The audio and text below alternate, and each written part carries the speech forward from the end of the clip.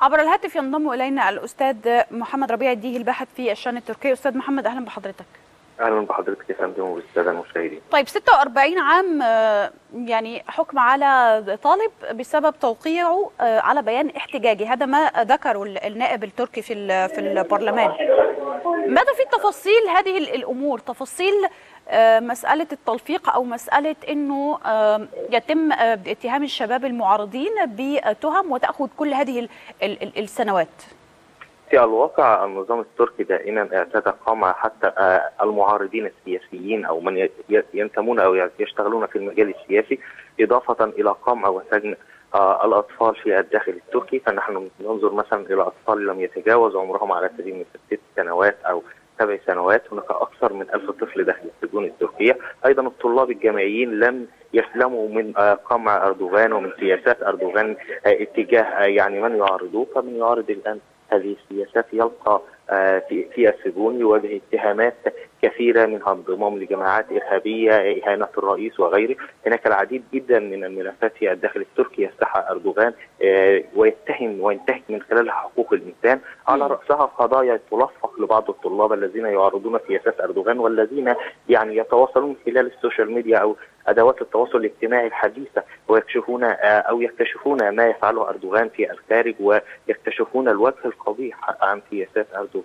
في الخارج خاصة كنا نتحدث على أن هذه السياسات أضرت كثيرا بالداخل التركي وأضرت بالاقتصاد التركي فالطلاب والشباب هم الجيل المستقبل. الآن يعانون من ارتفاع كبير في معدلات البطالة. نحن نتحدث عن ارتفاع يعني يصل إلى 12 أو 15% معدل بطالة في الداخل التركي. هناك أرقام مفزعة لحد أو خط الفقر الذي يعاني منه المواطن التركي. هناك الكثير من المواطنين الآن تحت خط الفقر. نحن نتحدث عن أكثر من 48 مليون مواطن تركي تحت خط الفقر في تركيا. هناك الكثير من الانتهاكات جراء يعني سياسات أردوغان سواء في الاقتصاد طيب أستاذ محمد هل هناك إدانات دولية؟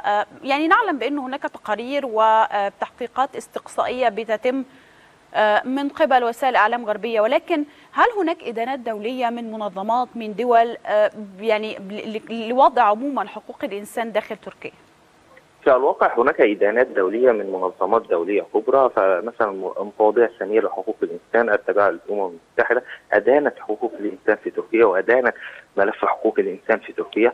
أيضا منظمات أخرى سواء كانت حكومية أو غيرها أدانت هذا الملف الذي كثيرا ما انتهكته تركيا، هناك دول أدانت هذا هذا الملف منها فرنسا منها مصر وغيرها، هناك دول كثير كثيرا ما تدين سياسات أردوغان في الداخل التركي وخاصة انتهاك حقوق الإنسان. وهناك ولكن ماذا تفعل هذه الدول؟ وما هي العقوبات التي تفرض على هذه من قبل هذه الدول؟ ربما كان أولى هذه العقوبات هو ما فرضه الاتحاد الأوروبي هذا العام من رفع يعني أو تخفيض المساعدات التي تقدم لتركيا نظرا لسوء الأوضاع الاقتصاديه نظرا عفوا لسوء الأوضاع حقوق الإنسان في تركيا وانتهاك حقوق الإنسان في الداخل التركي. أحيانا بتترجم أيضا لسحب استثمارات يا أستاذ محمد. بمعنى إنه في دول من الدول الأوروبية تراجعت استثماراتها بشكل كبير في تركيا خلال السنوات القليلة الماضية وكان دائما التفسير بيكون على إنه رغم إنه في الظاهر تبدو إنها دولة مستقرة يعني في الداخل ولكن دائما الاعتراض بيكون على موقف حقوق الإنسان تراجع الاقتصاد لحد كبير وبالتالي بتسحب هذه الدول استثماراتها.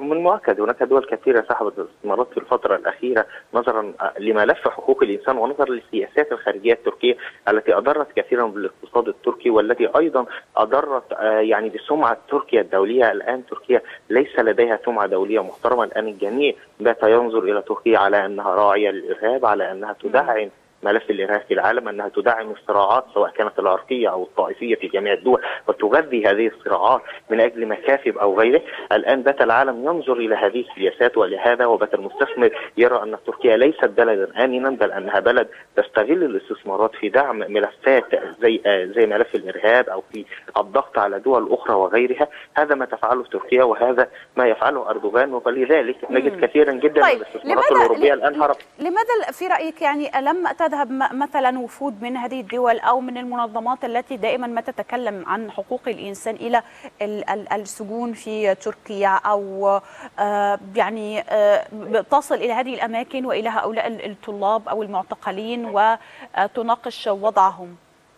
حتى لو وصلت إلى هؤلاء الطلاب وإلى هؤلاء المعتقلين وناقشت وضعهم فما فما هي النتائج الفعلية التي مورست أو ماذا فعل يعني الحكومة التركية لإنقاذ هؤلاء الشباب وإنقاذ هؤلاء الطلاب لم تفعل شيء إنما تركتهم يعني ضغوط أخرى وتركتهم لمعاناة أكثر بل أن طمع النظام التركي يزداد يوما تلو الآخر في ظل سياسات يعني عنترية كثيرة جدا وفي ظل سياسات ربما يحرص بها الداخل التركي أكثر، هناك الآن الكثير من المعارضة بل أن النظام التركي الآن يبني أكثر من 200 سجن المفترض أن ينتهوا بحلول 2020 يعني من فتره من 2018 ل 2020 هناك أكثر من 200 سجن جدد يبنون في تركيا. كل هذا على مرأى ومسمع والنظام يتحدث أنني أبني سجون جديدة. أنني أفعل كذا. أنني أفعل كذا. وليس هناك عقوبات رادخة أو قوية بالفعل اتجاه هذا صحيح. الملف. خاصة وأن يعني أردوغان يستخدم أوراق ضغط أخرى للضغط على دول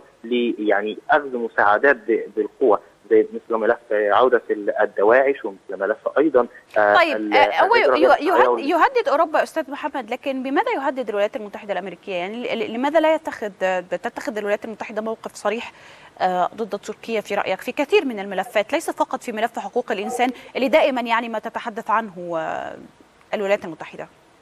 الولايات المتحدة الأمريكية لا تتخذ يعني إجراء حاسم الآن في هذه الفترة لأن إدارة ترامب الآن ليس لديها الرغبة في خوض حروب في المنطقة وهي بدأت الآن في الانفتاح في كثير من الملفات. أيضا ترى وتدرك أن سياسة أردوغان ستأتي به في الهاوية وأن من سيحاكم أردوغان هو شعبه نظرا لهذه الجرائم التي يفعلها أردوغان. أيضا هناك الآن معارضة قوية والجميع يعلم ذلك. لذلك المجتمع الدولي وخاصة الولايات المتحدة يعني تنتج سياسة أكثر صبرا مع تركيا خاصة أنها كانت تنظر لتركيا في فترة من الفترات على أنها خط الدفاع الأول اتجاه روسيا. الآن تركيا ربما كانت ربما ابتعدت فعليا عن الولايات المتحدة وبدأت تهدد سياسات الولايات المتحدة في المنطقة. ولكن هي تدرك أن هذا الابتعاد هو ابتعاد مرتبط بشخص أردوغان. حينما يرحل أردوغان سيرحل معه هذه هذا الابتعاد. بل تقترب تركيا أكثر اتجاه الولايات المتحدة. أيضا أن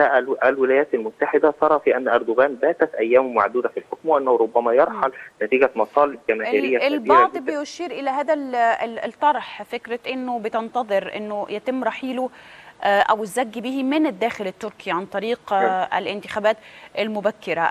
لكن يعني حتى تتم هذه الانتخابات المبكرة لا نعلم يعني إلى أي مدى سيقوم بمثل هذه السلوكيات. المؤكد أن أردوغان ما زال ومستمر في انتهاك هذه يعني السلوكيات المعادية حتى أن يتم الزج به فعليا من قبل ضغوط شعبية نعم. بإجراء انتخابات مبكرة نعم. ربما يكون وهذا يعني هذا بالفعل ما يتوقعه الكثيرون فكرة إنه الورقة الأخيرة هي في يد الشعب التركي والمعارضة التركية أيضا أشكرك جزيل الشكر محمد ربيع اللديه الباحث في الشأن التركي على كل ما تفضلت به